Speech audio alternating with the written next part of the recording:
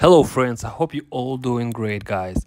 So today we will discuss uh, with you how and where to get the game stones to improve your statistic and get cool bonuses.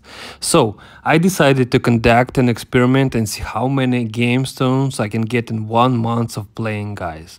I will say that it's turned out pretty well, but there are a number of rules that will give you a, such a result.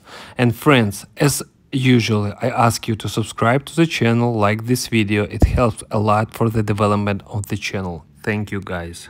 And so I managed to get a, such a number of games for one month of the game. How do you like this result guys? Yes, you will definitely be surprised to see stones or different levels. Let's start with level 5 stones. In total I managed to get 18 pieces and where did I get them?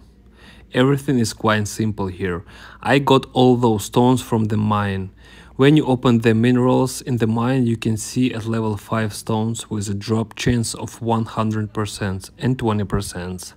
If you see the first option, then you will definitely should buy it and get a level 5 of gem.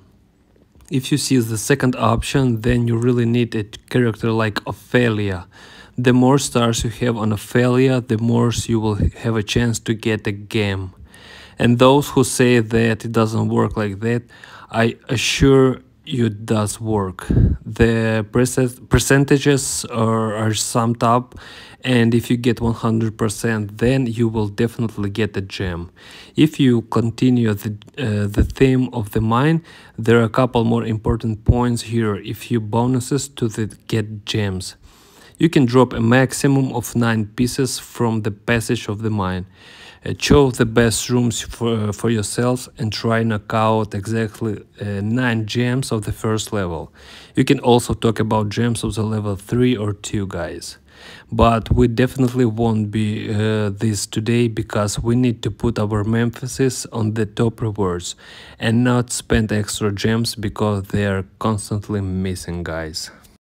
So guys, where else I can get the gems? So, passing chapters, but remember that chapters with bosses such as 28 or 21 have a very low chance to knock out a gem and do not advise you to knock out them out there. It is better to go to the chapter where there are waves or wave there are 50 floors. It is in such chapters that you are mostly like to get a gem on the first level you yourself do not be, pay attention when you go to the pharmacy and you definitely go through some chapters from 10 to 20 times a day. So you can calculate that if you knock out 50 gems per day and multiply this figure by 30 in games days, you will get 450 different games. So friends, just think about it.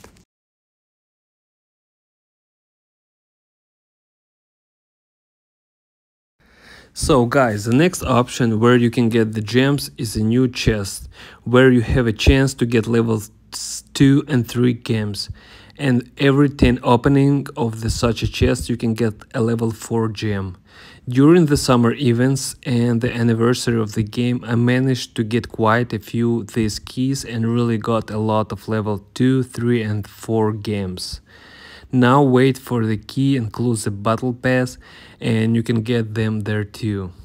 Well, let's not forget the fact that uh, every 7th game day you can get the key to the chest for free and in the good situation get 4 gems at once guys. So, well, probably one of the last options where you can get games in the clan store. Uh, here you have the option opportunity, I'm sorry, to buy games of level 1 and 2 and get level 7 immediately for a lot of clan currency. I quite often buy this particular aircraft because it's really of a high level.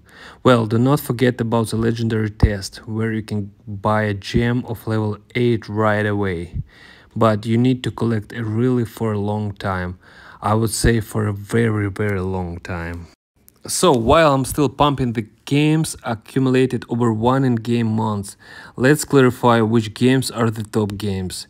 It is for me the Topaz is the best product. You will receive protection from projectiles and crit damage, with each levels these indicators will increase guys. In second place i will put ember you will receive protection from damage in front. Elemental damage will be greater. This stone is ideal for heroes who possess some kind of elements such as sylvan or Phoren. And guys in third place i put second games at once. It will be Kunzite and Ruby. They will give you additional damage to bosses and mobs, and of course, those stones will greatly help you increase your attack.